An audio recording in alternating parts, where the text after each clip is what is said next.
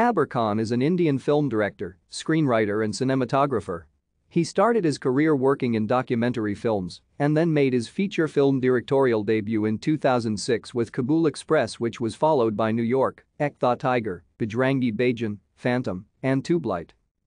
Khan was born to Rashiduddin Khan, a Muslim Urdu-speaking father and Leela Narayan Rao, a Hindu Telugu-speaking mother. Rashiduddin, who was a Pathan hailing from Kaimganj in district, Uttar Pradesh, was a nephew of Dr. Zakir Hussain and a communist politician favored by Indira Gandhi as a nominated member of the Rajya Sabha at a relatively young age in the early 1970s. He was also a professor of political science, and in the early 1970s, he became one of the founding professors of Jawaharlal Nehru University. His sister, Anisha, is the wife of filmmaker Vijay Krishna Acharya, director of films like Tashan and Doom 3. Khan studied at Kirori Mal College of Delhi University, as well as Jamia Millia Islamia in Delhi.